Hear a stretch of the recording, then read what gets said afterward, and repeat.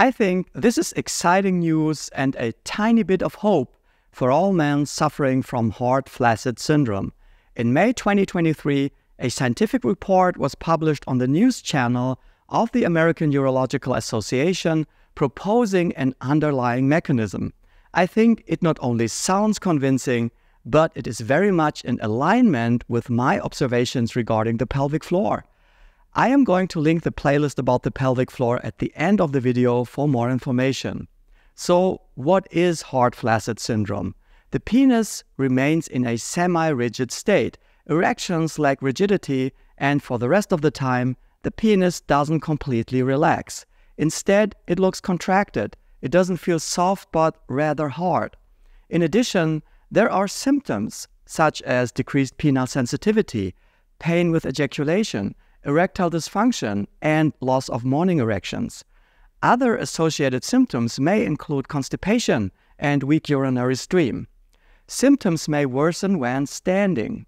According to Goldstein and colleagues, all of this may be caused by an abnormal activation of the hypogastric nerve, which is responsible for sympathetic tone.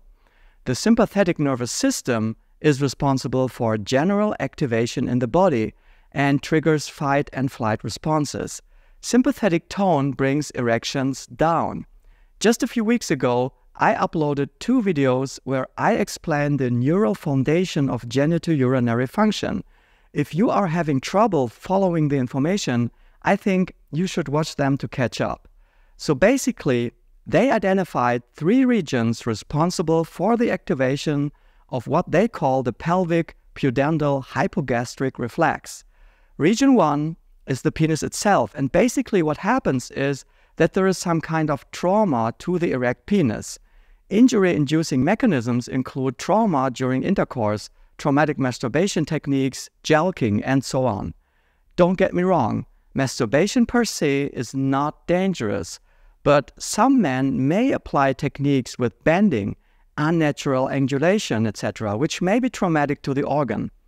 Then there is region 2, with a pelvic perineal area. Pelvic floor overactivity may be a trigger of excessive sympathetic tone and or blunt perineal trauma. Something like this may result from riding a bike or horseback riding. And lastly, region 3 is located at level with the cauda equina. Again, if you're not familiar with that term, please watch my videos on neural anatomy. Triggers in this region may be a disc herniation, for example. So, if you are suffering from hard flaccid syndrome, the diagnostic approach will be to put you into one of those three buckets first and then start the treatment accordingly. If it is region 1, treatment consists of medicines like alpha blockers and anti inflammatory analgesics. Shockwave therapy may be promising as well. If the problem is related to region 2, we are talking about muscle relaxing agents, neural inhibitory agents, but also pelvic floor physiotherapy and shockwaves. In case of a region 3 pathology, more diagnostics are needed first, something like an MRI to rule out any disc herniation or cysts which could compress nerve roots of your spinal cord. In region 3 problems, surgery may provide a solution. As I said in the beginning, this new model provides some hope for the affected, but let's face it, hard flaccid syndrome is a hard nut to crack. Treating this condition is still frustrating, even when applying the strategies I just outlined but it is a start.